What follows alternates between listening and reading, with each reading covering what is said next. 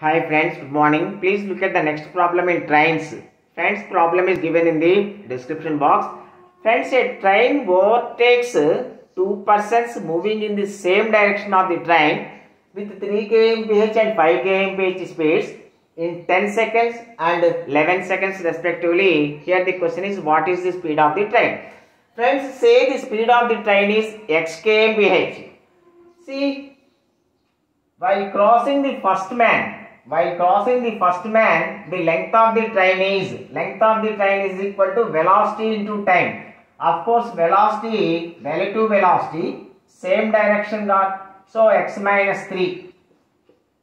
So into 5 by 18 into meters per second. So this is the velocity while crossing the first man into time. So velocity into time, by doing velocity into time, we get the length of the train.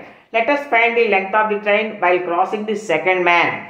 So velocity x minus 5, relative velocity same direction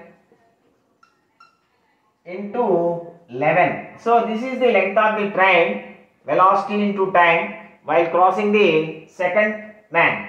So this is the length of the train, this is also the length of the train, these two are equal. So now 10x minus 30 is equal to 11x minus 55. So x is equal to 55 minus 30, 25 kmph friends, 25 kmph. Thank you.